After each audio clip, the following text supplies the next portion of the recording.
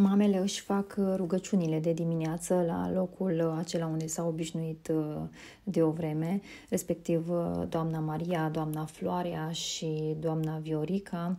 Le-am văzut acolo, doamna Maria citea dintr-o carte de rugăciuni, mai apoi li s-a alăturat și doamna Daniela. Băieții se pare că au rămas fără mâncare. La un moment dat, Valentina a deschis frigiderul, se uita în el, Dediș și-a trecut pe acolo, spunea, e gol, nu? Bate vântul.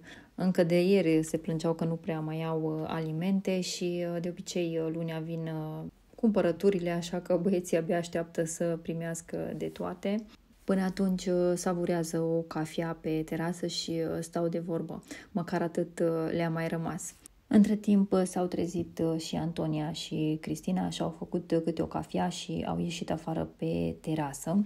Între timp, băieții s-au întins afară la povești pe terasă, vorbeau despre faptul că le-ar plăcea să aibă un detector de metale, spunea de diș și lui ar plăcea să poată să depisteze tot felul de obiecte de valoare. Iar Liviu a început o discuție despre românii care adună fier vechi în afara țării, în Norvegia, Olanda, Germania, mai știu eu pe unde a umblat el.